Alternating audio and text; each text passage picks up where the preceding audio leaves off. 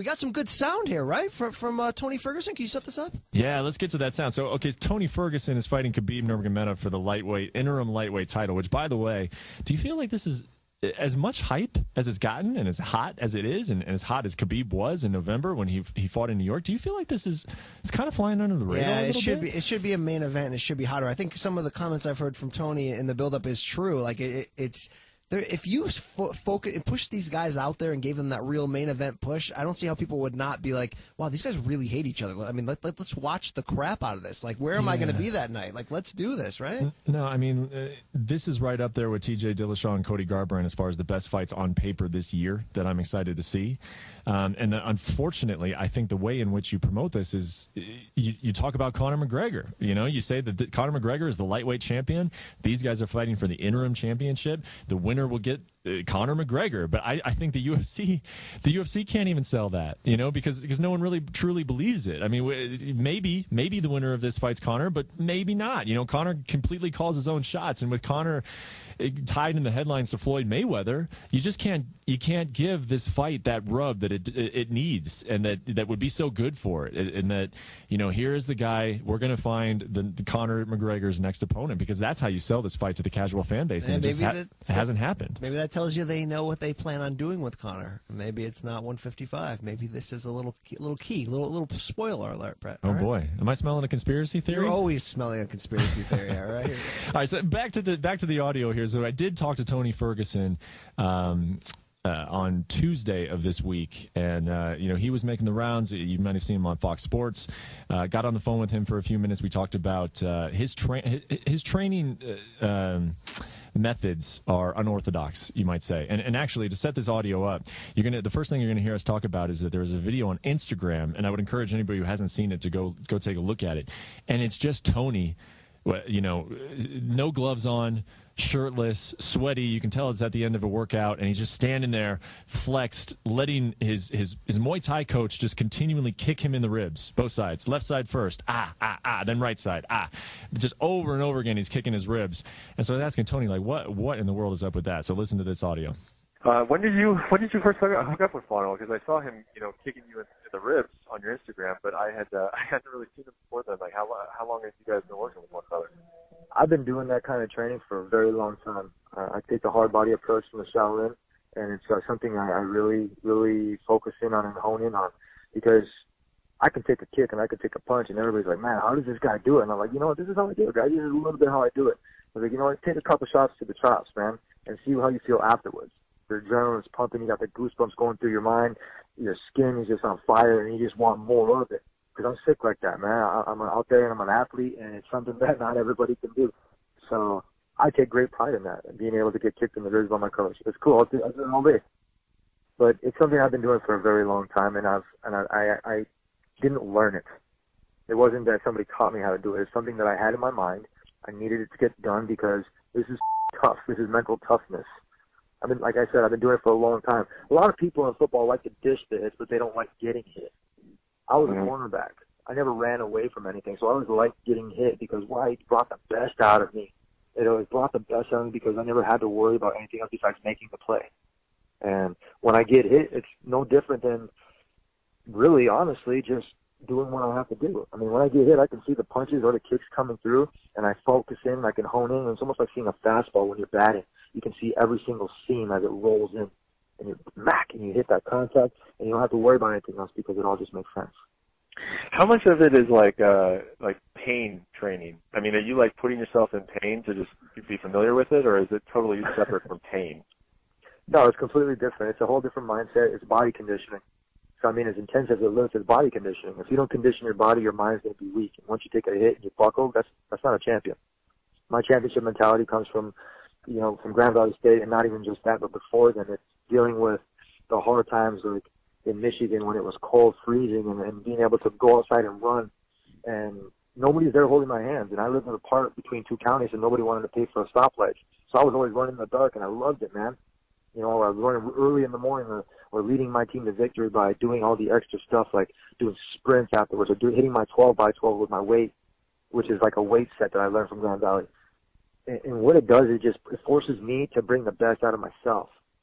So if if I'm not if I'm beating myself up, yeah, it's cool, but you got to recover. This is a full time gig that I do. This is my career, so not only am I beating myself up, but I'm, I'm resting. I'm getting mentally focused. I'm asking myself, okay, so why did you do? it? I'm like, I don't have to ask myself. I've been doing this for a long time. Mhm. I'm a veteran in the sport, and uh, what I'm doing is right because I keep winning, and I have a nine fight win streak on my way to ten. This guy's gonna have his hands full. He's got to be able to do all the work, and his conditioning's pretty. I've seen it. A lot of power shots, and I get hit hard. So when I mm. see him throw his hardest shot in the beginning of the round, and I just eat it, and I just keep moving forward, and he tries to take me down, and I stuff it. I know his energy level is gonna go low, and he's gonna have his hands full, buddy, and he's gonna see a darts coming. And he's gonna be put to sleep. Everybody looks past me. They just think, oh, he's a whatever. I don't have to go into detail with it. When somebody brings up a certain name, it's cool, man. I gave Conor a pass, and I'm going to keep him up to my word because he's having his baby. I understand that. I told him, go spend some of that money that you earn. Go do your own thing. Because you know what? When the, when you want to really come back and do the man sport, instead of quit trying to make that money, because money made McGregor soft. I say McNuggets, you know, because he's made of that fake, that pink stuff from McDonald's that nobody wants. Mm-hmm. So as far as that's concerned, do I get pissed? Yeah, I get a little heated. But the real belt is between myself and Khabib. He's 24 0. Dude, I'm like, I forget how many wins I have. I don't even care anymore because they just keep racking up, man. It's just like my checks, my performance bonuses. They just keep racking up. And I, I don't give two man. I'm going to go out there and do what I have to do. I'm going to perform to the best that I can because I prepared day in, day out, three sessions a day, sometimes four, barely crawling into bed, taking my ice bath, doing what I have to do to get my together and, and be able to do it again the next day. And then mm-hmm. once I see Khabib, he sees that focus, he's going to be like, oh, coach, can you jump in here with me? And then Javi, I'm going to look at Javi, I'm going to dog his ass too. And everybody that's in his corner, that's the same thing I did with RDA.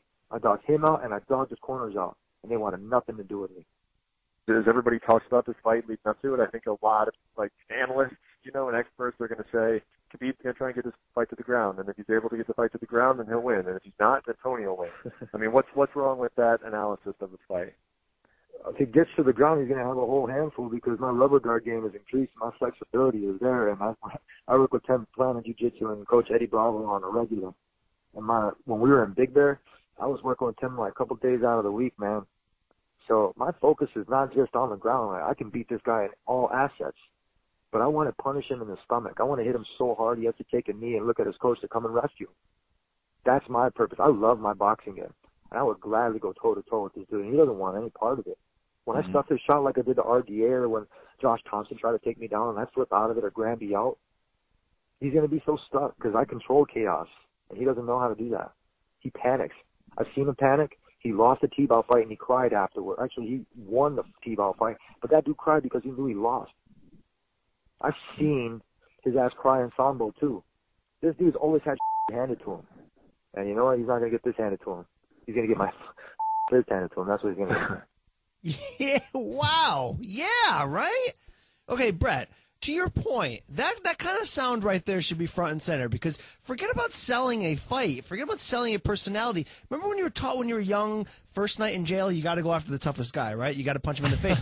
if I'm in jail and I'm looking across from that guy, I'm not. I, I'm giving up, Brett. I mean, uh, this is great stuff. When you saw the sick look in his eyes against Dos Anjos, when he's accepting those kicks to the leg, those inside kicks, and almost just smiling at them, you knew maybe he's a little wired a little bit differently. But Oh, this, yeah. this sums it all up, bro. Tony Tony's always been wired differently, and I think we've seen that uh, evolve, and we've just seen it so many times now because he's been in the UFC for so long. He's been in, in high profile fights that we are starting to get to know this guy, and I, I think it's very very real that he's at his best once he starts to get hit. Uh, the, the guy he does have like this weird reaction to getting hit, and it's different than anybody else, and it can break people. I mean, it can it can really frustrate people and and, and wear on them mentally. I mean, we saw that in the RDA fight. RDA has a heck of a left hand, especially at 155 pounds. You know this, Brian, and, and he caught he caught Tony with it a lot. I rewatched that fight the other day, and, and he was he he dropped that left hand on Tony's chin several times early in the fight, and, and Tony just continues to, to come forward like it never happened.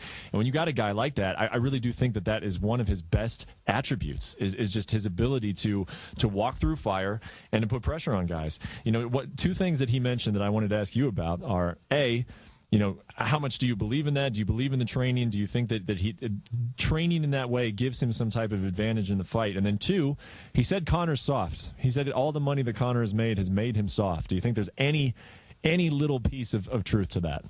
Well, you know, it's that old Marvin Hagler saying that, like, you know, uh, how difficult it is to get up and run when you're sleeping in silk sheets. And we know that uh, Conor's, you know, wearing silk underwear for all I'm concerned at this point. But no, I don't think Conor's soft. I mean, I think that it just look, look, just go back to that five round fight with Diaz where, where you learned that. But is there something to this training? I I think if you're if you're as crazy as Tony Ferguson, then yes, because uh, it's so mental this game, Brett. Right? Like it's so mental. Like you can be as skilled as you want, but if you don't have that that that piece, that extra that extra you know category that you can't define, if this helps a guy like Tony Ferguson build up that pain tolerance and build up that Im- immovable force inside of him, then I think it is effective. But no, I, I, you know, am I a protector of the pretty boy still? I still don't think Conor's soft at all. No, I don't either. Uh, and, and as far as, as Tony's training goes, I think it works for him. I don't think it's going to work for a whole lot of people out there, but uh, yeah, I think he's going to live and die by this. You know, I, have seen he, one another thing about Tony is that he, he does put himself in terrible defensive positions sometimes because he's just so willing to put himself in the line of fire. And and I think with Khabib, you know, that's going to he'll have his openings on the feet, but more so, you know, Tony is just a guy who who will fall out of balance a little bit because he's so aggressive, and and that will open up to the takedowns. Five round fight though, man, and, and that's what's so so great about this. And we've we've tried to see this fight a couple times. It hasn't happened because of injuries. The fact that it's a five round fight for an interim title, I think that uh, the stars aligned and this was meant to happen, all those injuries, because it's under perfect circumstances now to see this fight.